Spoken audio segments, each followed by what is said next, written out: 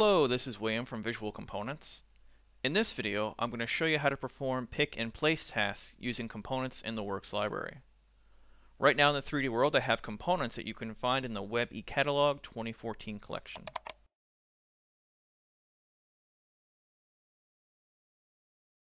I'm going to get started by first talking about the type of tasks you can use to perform pick and place operations. So I'll select a process component and go to the Param tab. Now the first type of task you can use is called a feed task. This allows you to feed more than one type of product, and you also have to assign this task a name so you can give it to a specific resource to do.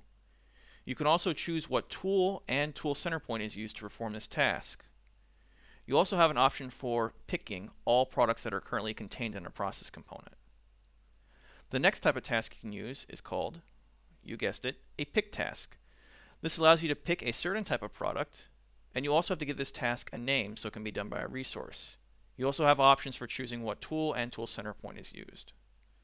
Now after you set up a feed or a pick task, you can now create a need for those products. So I'll go ahead and show you. So a need task allows you to place or receive more than one type of product, and you don't have to give it a task name. You also can create a need pattern. Notice this is only available for one type of product, but you can place that product in a certain pattern. You can also use a place task. This allows you to place one type of product. You also have to give this task a name to assign it to a resource, and you can choose what type of tool and tool center point is used to perform the task. Instead of a place task, you can use a place pattern. Just like a need pattern, you can choose what type of product is placed. You can set up a pattern for placing the product. And you also have to give this task a name, and you can choose what type of tool and tool center point is used to perform it. I'm now going to show you how to perform a pick and place operation using feed and need tasks. So I'll select a process component here in the 3D world. I'll go to the task properties drop-down list, and I'll first create a pattern of components. So I'm going to create this component here, lathcomp1. So I'll create a 2 by 2 pattern, so a total of four products. And now I'll create a feed task. So I want to pick lathcomp1. And now I need to give this task a name, so I'll call it step 1. And now I can choose what tool and tool frame to use for this task. So you notice in the 3D world, the robot has a mounted tool called dtool and it has two tool center points, so TCP2 and TCP1. Let's go and use TCP2 to perform this task. So I'll get a better view. And I'll reference that tool of dtool and the TCP name of TCP2. Notice I do not have the all properties selected, so I'm only going to pick or feed lathcomp1 products. I'll create the task, and now I need to assign this task to a resource. So I'll select the robot controller. I'll go to its task list, and I'll enter step one, hit the enter slash return key, and now I need to create a need for this product. So I'll select the other process component, and I'm actually going to create a need pattern task. So I want lathcomp1, and I'll use that same 2 by 2 pattern, so a total of four products. I'll create the task. So now when I run the simulation, the robot picks the items and places them in the other bin. Now, if I want to change the approach and retract distances when the robot picks and places the item, you can do that. It's very easy. So I'll reset the simulation, and I'll show you again.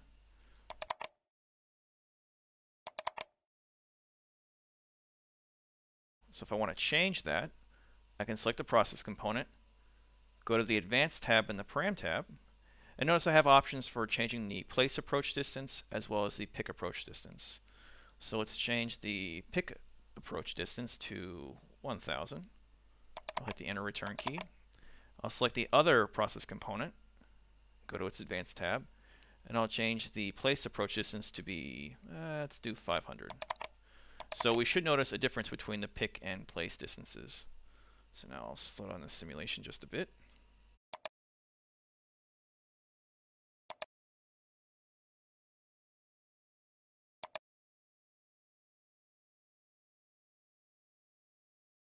Whenever you create a pick or a place task for a robot to perform, RSL routines are created in the robot's program that allow you to perform actions before or after an object is picked or placed. Let me show you. So I'll go to the Teach tab. I'll select the robot's program. And notice I have pre-pick, post-pick, pre-place, and post-place routines in the robot's program. And they all reference that task I assigned to the robot, step 1. So if I was to create some actions before the robot picks the object, let's actually go ahead and turn tracing on. So I'll use a signal value of 17 with true. After the object is picked, I'll turn tracing off. So notice I'm actually using a set binary output statement. I'll set its value to false to turn the tracing off. So if I run the simulation,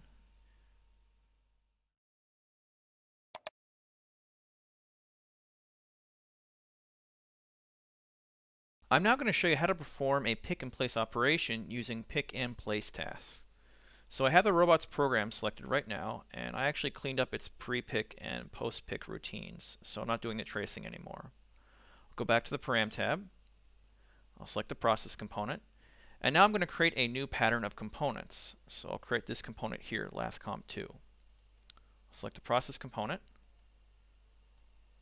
go to create pattern, and I'll change the component to be lathcomp2, and I'll create that same pattern of 2 by 2 I'm now going to create a pick task for this product. So pick, and I'm going to reference last comp 2. I now need to give the task a name, so I'll name it step 2. And instead of using TCP2, I'll use TCP1. And I'm going to use the same tool, and I'll create the task. I'll now go and create a place task over here in this process component. So I'll select the component, and I'll select place pattern. I want to place lathcomp2 products, that same pattern of 2 by 2.